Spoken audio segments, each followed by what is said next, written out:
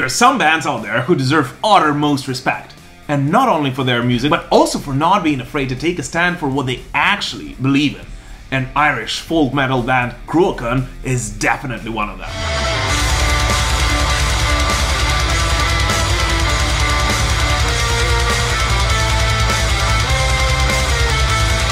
Celtic folk metal pioneers, who by the way this year celebrate their 30th anniversary, have been on the forefront of the Irish metal scene since pretty much its formation. Classic. Since Cruachan were basically the co-founders of folk metal as we know it, together with Skyclad back in the early 1990s.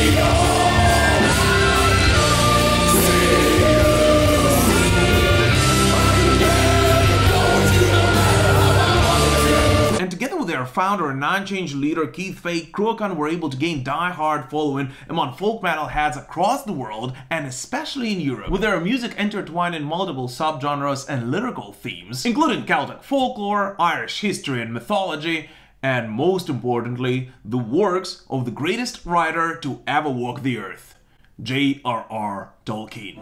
It cannot be. And by the way, talking about J.R.R. Tolkien's themes in Cruachan lyrics, the band itself was actually formed as a result of disbandment of another band by Keith Fay called Minas Tirith, a full-scale Middle-earth inspired black metal project.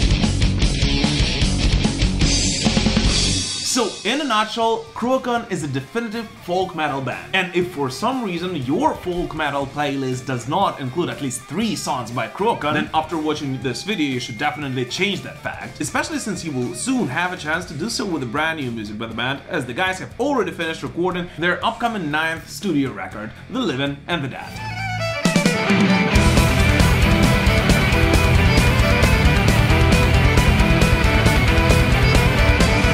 Honestly, music is not actually the only thing which makes Cruachan so special.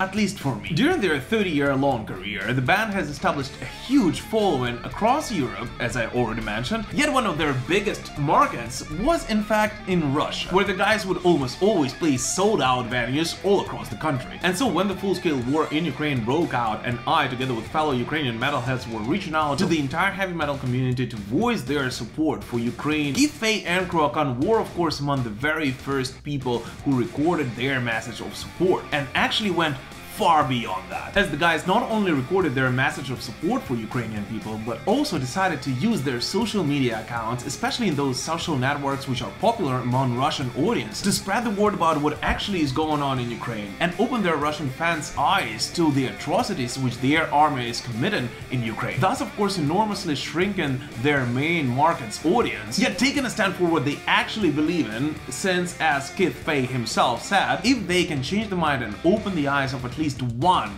Russian fan of Cruachan, then they know for sure that what they do was not in vain.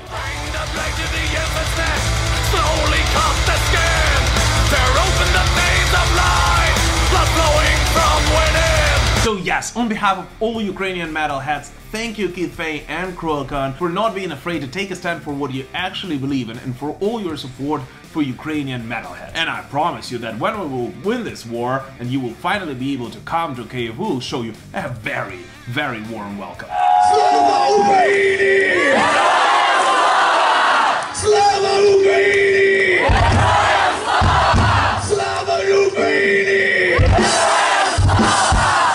What do you guys personally think about Cruachan? Please do let us know in the comments, as well as you would like me to talk more about this band's history, or be among the first ones to find out what is inside their upcoming studio record. We got a new track One that will be coming on the next album Oh, and of course, if you would like to support Ukraine by rocking Metal Pilgrim t-shirt at your next heavy metal show, the link to a simple order form will be in the description to this video. Just wanted to point out that 100% of the profits I make from these t-shirts of course goes to support Ukrainian army here on the ground. So thank you so much for watching guys and we will prevail. Slava Ukraini!